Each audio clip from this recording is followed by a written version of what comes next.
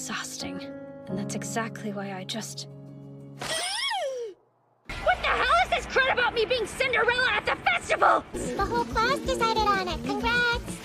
At least you're playing a girl part. They made me the freaking prince. Someone said my name first! Oh, uh, I think Misuzu would be the cutest Cinderella. Yeah, that someone was me.